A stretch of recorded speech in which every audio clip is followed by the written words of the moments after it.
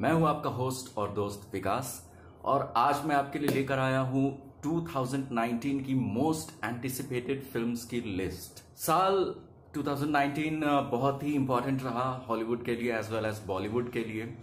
ये काफ़ी बड़ी फ़िल्में रिलीज़ हुई, हमने देखा एवेंजर्स एंड गेम रिलीज़ हुई उसने अवतार का रिकॉर्ड तोड़ दिया टाइटेनिक का रिकॉर्ड शायद तोड़ पाई है या नहीं, शायद तोड़ दिया है। इस तरह की फ़िल्में जब आती हैं तो ऑडियंस की एक्सपेक्टेशंस बहुत ही ज़्यादा बढ़ जाती हैं फ़िल्मों को लेकर और फ़िल्मों से एक्सपेक्टेशंस बहुत ज़्यादा बढ़ जाती हैं एक्टर्स से एक्सपेक्टेशंस बहुत ज़्यादा बढ़ जाती हैं और इसीलिए 2019 की जो मोस्ट एंटिसिपेटेड फिल्म्स हैं उनके बारे में मैं आज आपको बताऊँगा जो रिलीज़ होने वाली हैं। इस लिस्ट में पाँचवें नंबर पर है फ़िल्म का नाम है द करंट वॉर इस फ़िल्म में मुख्य भूमिका में है बेनेडिक्ट कम्बरबैच निकोलस हॉल्ट ये फ़िल्म थॉमस एडिसन और जॉर्ज वेस्टिंग हाउस के बीच के ईगो की कहानी है। थॉमस एडिसन, जैसा कि हम सब जानते हैं बल्ब का आविष्कार किया था। तो मोस्ट प्रोबेबली थॉमस एडिसन का रोल जो है, वो बेनेडिक्ट कम्बरबैच करेंगे और जॉर्ज वेस्टिंग हाउस का जो रोल है, वो निकोलस हॉल्ट करेंगे। निकोलस हॉल्ट को हमने मैटमैक्स में देखा था फ्यूरी रोड में। उसमें उनका रोल काफ़ी छोटा था बट काफ़ी इंपॉर्टेंट था और काफ़ी विलेनियस रोल था। तो ये दोनों इस फ़िल्म में हैं। इस फ़िल्म का डायरेक्शन कर रहे हैं स्टीवन स्पीलबर्ग जिन्होंने इसके पहले बहुत सारी फ़िल्में हमें ब्लॉकबस्टर फ़िल्में दी हैं। जुरासिक पार्क हो, चाहे वो टॉम हैंक्स की द टर्मिनल हो, चाहे वो द पोस्ट हो, चाहे एलियन से जुड़ी मतलब हर हर फ़ील्ड में उन्होंने हर जॉनर की फ़िल्म बनाई है और हर जॉनर की फ़िल्म उनकी एक ट्रेंड सेटर साबित हुई है। तो स्टीवन स्पिलबर्ग को कौन नहीं जानता? तो द करंट वॉर देखना होगा कि कब रिलीज़ होती है। हालाँकि इस साल ही दिसंबर में रिलीज़ डेट फाइनल की गई है। लेकिन हो सकता है कि साल के अंत होते होते ये फ़िल्म रिलीज़ हो जाए। चौथे नंबर पर जो फ़िल्म है उसका नाम है X Men the new mutants जी हाँ एक्समैन सीरीज़ हम सबने देखी है सबने कभी ना कभी देखी है कोई ना कोई पार्ट उसकी। आ, उसमें वुलवरीन है डॉक्टर एक्स है चार्ल्स जेवियर तो ये जो फ़िल्म है the X Men the new mutants उसमें uh, काफ़ी नए कैरेक्टर्स uh, लाए गए हैं। ये फ़िल्म वैसे रिलीज़ होने वाली है 2 अगस्त 2019 को लेकिन हो सकता है कि इंडिया uh, में शायद अगस्त लास्ट में रिलीज़ हो या मिड अगस्त में रिलीज़ हो। लेकिन इस फ़िल्म की जो रिलीज़ डेट है वो फाइनल की गई है 2 अगस्त 2019 तीसरे नंबर पर जो फ़िल्म है वो काफ़ी इंपॉर्टेंट है फ़िल्म गोअर्स के लिए फ़िल्म लवर्स के लिए। इस फ़िल्म का नाम है once upon a time in Hollywood इस फ़िल्म में मुख्य भूमिका में है और पहली बार साथ आ रहे हैं लियानार्डो डिकैप्रियो और ब्रैड पिट। जी हाँ दो बड़े हॉलीवुड के नाम, दो बड़े सुपरस्टार्स हॉलीवुड के जिनके एडमायरर्स सारी दुनिया में हैं।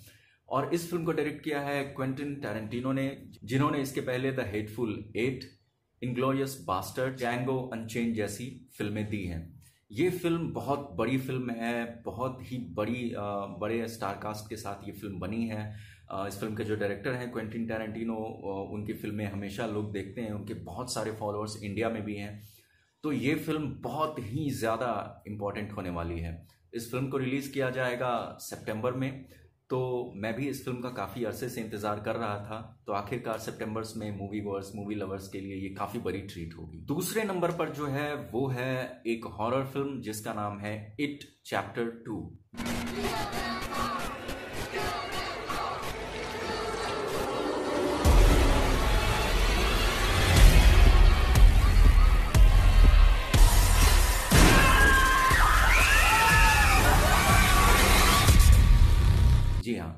it film, जैसे आप लोगों ने देखा होगा उसमें एक क्लाउन होता है और उसमें शैतानी ताकत होती है, वो एक शैतान होता है और वो काफ़ी सारे बच्चों को किडनैप कर लेता है। तो अगर आपने नहीं देखी है तो ये फ़िल्म ज़रूर देखें, अच्छी फ़िल्म है।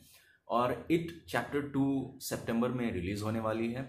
इसमें जेम्स मैकवॉय मेन कैरेक्टर में है। जेम्स मैकवॉय, जिनको हम चार्ल्स जेवियर के नाम से जानते हैं, जो एक्समैन में जिन्होंने Charles Xavier doctor Charles Xavier का रोल प्ले किया है।